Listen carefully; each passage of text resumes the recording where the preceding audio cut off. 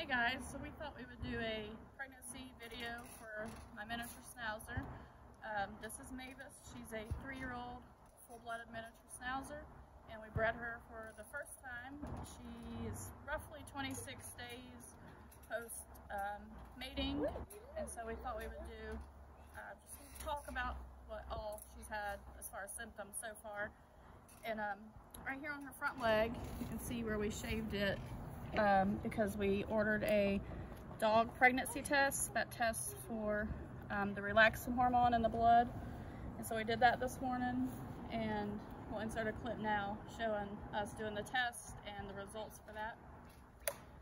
And so, um, as you can see, it's very hard to see the line in the pictures and the video, but in person it's definitely there. It's a faint positive line, so that's good.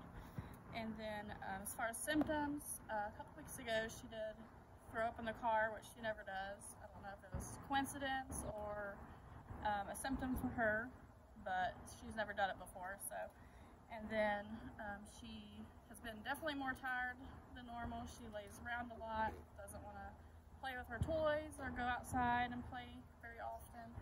And then her um, her nipples are gotten, a little darker. Can you look at your belly?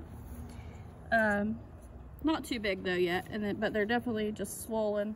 Her breasts are um, no milk, obviously, but just a little puffy. And then she looks like she's going into heat, but she already was, so she's a little swollen on her private parts. Um, so far, that's the only symptoms that she has. She still is early, and then we'll try to do another update as she gets farther along, um, showing her belly when the puppies start moving and um, and then try to do a delivery video as well to show um, her having the puppies. So thanks for watching and have a good one.